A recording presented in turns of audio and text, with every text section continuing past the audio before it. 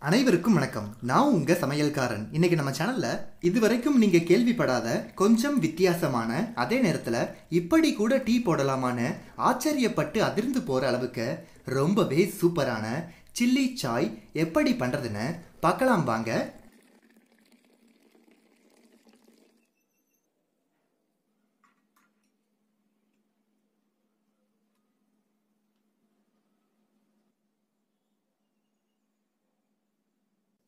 இதுக்கு முதல்ல ஒரு இடி உரல்ல ரெண்டு காய்ந்த மிளகாய் எட்டு ஏலக்காய் சேர்த்துட்டு இதை லேசா இடிச்சுக்கலாங்க.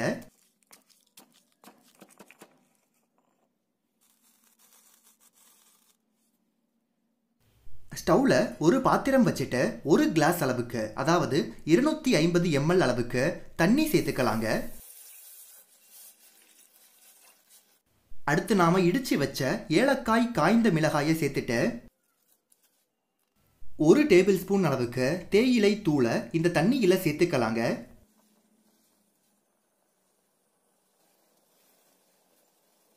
இந்த தண்ணி நல்லா கொதிக்க ஆரம்பித்ததும் ஒரு கிளாஸ் அளவுக்கு அதாவது இருநூற்றி ஐம்பது எம்எல் அளவுக்கு பால் சேர்த்துக்கலாங்க.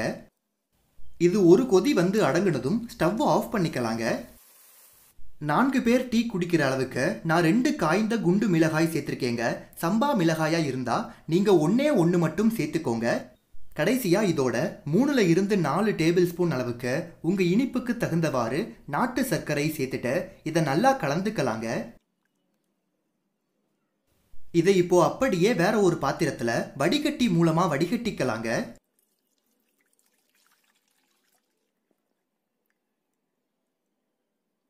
டீ போட்டு அப்படியே கொடுக்கறத விட இதே போல ஆத்தி கொடுக்கும்போது அதனுடைய சுவை வந்து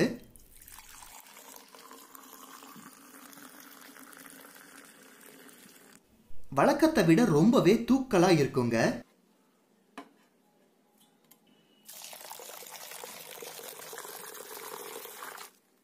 அவ்வளோதாங்க நம்மளோட சில்லி சாய் ரொம்பவே சூப்பரா ரெடி ஆகிடுச்சு. வழக்கமான டீ போல இல்லாமல் இது கொஞ்சம் வித்தியாசமாக ரொம்பவே அட்டகாசமாக இருக்குங்க. உங்களுக்கு கண்டிப்பாக ஒரு புது அனுபவமாக இருக்கும். நீங்களும் உங்கள் வீட்டில் இதை கண்டிப்பாக ட்ரை பண்ணி பாருங்கள் இந்த வீடியோ உங்களுக்கு பிடிச்சிருந்தா லைக் பண்ணுங்கள் கமெண்ட் பண்ணுங்கள் ஷேர் பண்ணுங்கள் எல்லாத்துக்கும் மேலே உங்கள் சமையல்காரன் சேனலை சப்ஸ்கிரைப் பண்ணுங்கள் ஹாப்பியாக இருங்க சிரிச்சிட்டே இருங்க சந்தோஷமாக இருங்க. Take care